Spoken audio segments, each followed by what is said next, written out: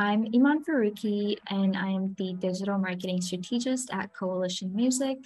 Um, I got my start in the music industry while I was studying at Wilfrid Laurier University.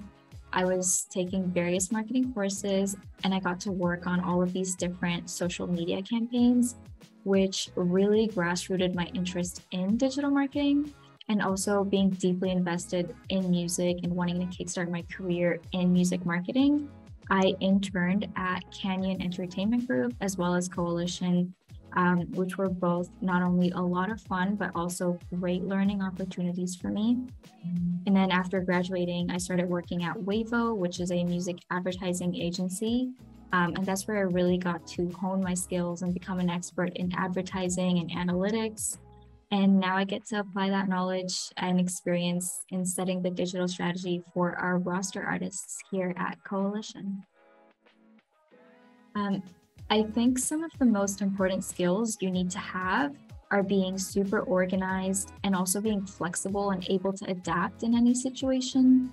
Uh, as a digital marketer, you work on so many different campaigns involving multiple social media, ad platforms, different objectives, etc. And being organized will really help you stay on top of it at all times. And also, the music industry is so fast paced and ever changing. You have to have an understanding of that and be able and willing to learn constantly and adapt to that change and pivot your strategy as needed. This is a piece of advice that I got when I was starting off my career in the music business industry. And that was if there's any industry or field that takes chances on people, it's the music industry. The music industry is very relationship based. And so, keeping that in mind, I think it's important to know the value and the significance of networking and building that meaningful contact list from the get go. My favorite part about my job is honestly getting to work alongside and learn from so many brilliant music minded individuals.